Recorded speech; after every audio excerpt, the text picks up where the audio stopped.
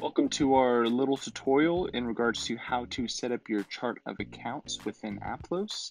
And uh, my name is Michael, and I have the pleasure and just showing you some tips and tricks in, in this regard. So uh, let's go ahead and get started. So where you're going to want to go to your chart of accounts is on the very top here. You're going to want to select Fund Accounting, Accounts, and Account List. Now again, this will take us to the chart of accounts, which will have our funds and all of our other accounts that we will go through.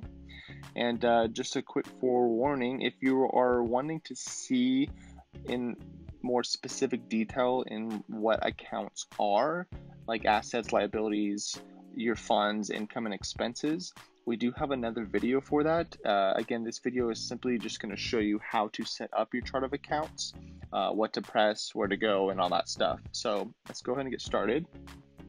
So once you're in your chart of accounts, um, what I'm going to do is I'm just going to work my way from the top to the bottom here. So you'll see that this is going to say your chart of accounts. And so you'll have a little settings icon right here. So if you click on that, you're actually you have the option to export your chart of accounts. And so this is important with some organizations uh, that sometimes just want a list of their accounts, maybe other funds and, and whatnot. Uh, so you do have the option for that. You also have the option to hide or show inactive accounts. Um, again, displaying all of them right here. So that's that little gear icon up there.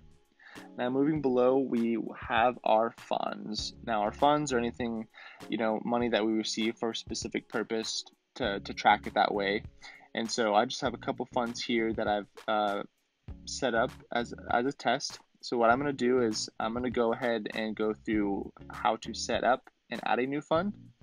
So you'll see right here you have a button that says add fund. So if we go ahead and click on that, what that's going to do is it's going to create a, a drop down menu and you'll have to enter a name and a color. Now for the name, I'm just going to label this test, test fund. Color. Now you may be asking yourself, what does this color do? The really the only thing it does is it color coordinates here on the screen and also in the register where we have graphs with our funds, and I'll show you that right before um, we end this, uh, towards the end. So uh, for fun, I'm just going to go ahead and make this red. Same as our utilities fund. And then click save. Once you do that, it's going to tell you that you have successfully added a fund and that they automatically added the following fund balance equity account. So again, uh, when you add a fund here, I've added this test fund it's going to automatically add it under your equity accounts because all of your equity accounts essentially are your funds. So, and we'll get into that more a bit later. But essentially, that is how you add a fund under the funds. Now, if you wanted to edit a fund, again, the fund name or the color, you simply just click onto it and it's going to create that drop down menu again where you can go ahead and edit the name and the color. So if you decided you want to make this super light blue, you can click on that and click save and it'll go ahead and update that for you. And it'll update you, um, it'll update that for you under the equity account as well as you see here.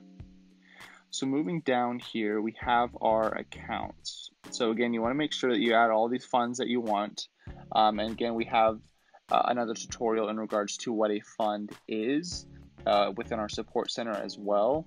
But essentially, it's a any way that your organization receives money for a specific purpose. So moving down here, we're going to go to our assets. Now, you have five categories with your chart of accounts. You have your assets, your liabilities, your funds or equity, income, and expense accounts. And again, these are the foundation of your organization within Aplos and within, within using fund accounting. So let's go ahead and go through this. So first, we're going to click on the asset. And now assets, again, we have another tutorial that goes through what each of these accounts are. Uh, but typically it's, uh, you know, your checking savings account, anything like that. I have uh, other fixed asset accounts, new fixed asset, uh, accounts receivable. But let's go ahead and just focus on our current assets. So as you see here, I have a checkings and a savings and a WePay account. Now, what we want to do to create a new asset is you'll see this little plus button right next to the group name. So if you go ahead and click that, you'll see another little, your mouse will kind of tell you what that button does, and it says add account. So if we click on that, it's going to create a drop down menu here that we can create um, a couple of different things here that we'll go through. So the first is the number. Now with your chart of accounts, um, each of the accounts typically are numbered uh, within our general accepted accounting principles that we follow. So with your assets, it's typically from 1,000 to like 1,999. That's typically the, the number range that it follows. Uh, again, we have other orgs that kind of do their own thing, which is totally fine. Um, but we're going to go ahead and follow that. So I'm going to make this account 1200. And actually, I'm going to make it 1100. That way it falls right under the checking account here. I'm going to label this again test account just to show you status. You have the ability to enable slash disable your accounts, and I will go ahead and go through that on one of my other test accounts that I've made. Now we're going to go over here to the type. Now within the type, you have a couple different options. You have none, use as a register, or accounts receivable slash AR. So what these options are is none, obviously, it's just a a typical asset account that you want to track, use as a register. What that will do is any asset account that you want to track the ongoing balance for, um, like a checking account, and it's going to create this little bank icon, meaning that within a register account, it's going to show that we have the ability to choose this account.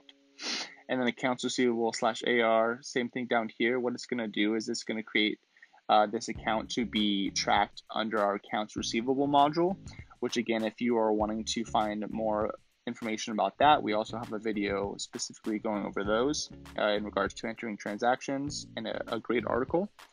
Um, so I'm going to go ahead and select use as a register and go over more about that later.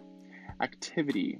So these are used by the statement of cash flows report so essentially, if you click on this, you have the option to choose cash, operating, investing, and financing. And these are all the different um, ways you can track this current asset account for this report uh, that is in our reporting section. And then you also have the ability to make this a sub account. So if I click on this button here, it's going to say uh, enter a parent account number if this account is a sub account. And a sub account just allows you to, again, as easy as it sounds, make it a sub account to a parent account. Um, so as you see down here under my fixed assets, I have uh, an other fixed asset uh, parent account and then a other fixed accumulated depreciation sub account to that account. So that's just one example of what a sub account could be. I'm just going to make this a main account, so I'm not going to make this a sub account. So you see I have my number, I have my name, the type, and the activity. And I do want this enabled. So once I have all the information in, I'm gonna go ahead and click save. And what that's gonna do is it's gonna create my test account under my assets. And as you see, this will go in numerical order. So that I had my savings account right there, but it's gonna be right under the savings account this is my test account. And you'll see that I have a little bank icon here. So quickly, what I want to show you is what that looks like in the register. So I'm going to duplicate this. I'm going to go over to my register. Now here's my register account. So again, these are anything that I want to track the ongoing balance for. And so up on the top left, you have your account register. And again, these are anything that have these little bank icons next to it. If I click right here, you'll see that these are all of my options that I can choose to essentially go into to track transactions um, or any ongoing balances. Again, we also have another video in, in this regard. So if this is what you're trying to track, I do recommend uh, looking that up in our support center. let's go ahead and go back to our chart of accounts. So once we have our assets done, um, essentially it's going to be the same process with all of our other accounts. Uh, so just to show you our liabilities, I have a credit card here that has a little credit card symbol, meaning that in my register, it's allowing me to choose that as a account register to input transactions in for that. Now it's the same process here. If I click this plus button right here, it allows me to do the same information that I did in my asset accounts. Funds, if you're wanting to add a fund, again, you will have to do this on the very top where it says add funds. Now, in each of these categories, you will, you will see the option to add a group. And so let me just kind of show you what that does. So now these groups are my current assets, my fixed assets, and my accounts receivable. So if you want to add a group to where you can drag and drop each account into it, essentially what you can do, oop, don't want to make that a sub account click add group here. I'm going to label it test, oops, test group and click save. You'll see what that's going to do is it's going to create a group where I'm uh, then able to add accounts under that, or I could drag and drop into that said group. And you'll see that there's a little blue rectangle that kind of follows these accounts. But that way you're able to essentially categorize each of your your accounts in any of these categories your liabilities your funds income and expenses again these are all my funds so anytime you create a fund up here it does get created as an equity account Income, same thing. If you click this plus button, it's going to have the same information except your income and your expenses are going to look a little bit different. And let me show you why. So with your income accounts, you're able to essentially add a fund to an income account. And what that does, uh, to be more specific, is when you input an income um, a, a, transaction with this said income account, it'll automatically select this fund for you. So you don't have to keep going in and selecting each fund every time you input this. So again, you have your number, your name, the status. Is it a sub account? You can make it any fund or you can pick a specific fund that will be tied to the said account. So for this example, I made a contributions income account. I label this uh, number 4000 the name was contributions income account. I attach it to my general fund so I can track it through there. And I clicked save and it created this uh, income account here. Now again, you can add groups, you can add other accounts under that uh, in the similar process that we just went over. And then we have our expense accounts. So very similar to our income, you can select any fund to be attached to a said expense account. That way, when you're inputting transactions within Aplos, it'll automatically select that said uh, fund account that you had selected. Uh, similar options here number, name, status, fund, sub account. I'm going to click out of this so I don't mess anything up. But essentially, once you have all of your funds that we went over, all of your assets, liabilities, equity, you can check here, income, and expense accounts, you will have just set up your chart of accounts, which is great.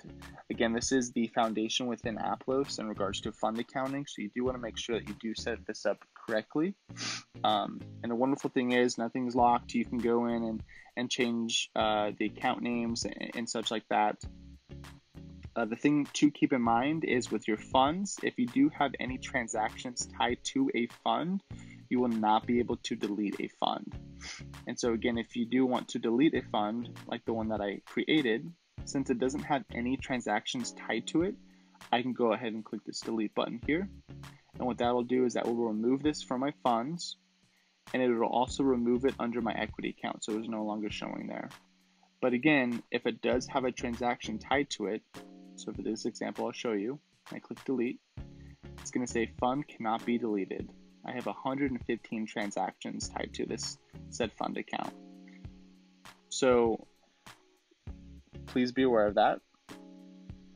Another thing to keep in mind is if you do change the name of a fund up here, it won't necessarily change this fund's name down here. This is something we are working on, but currently you do want to keep in mind that if you do change the name up here, so if I change this name, saving fund, test, see that it changed up there, but that it does not change down here. And so you will want to change this as well. So do uh, keep that in mind as well. But again, once you have that set up, then you're ready to move on to the next step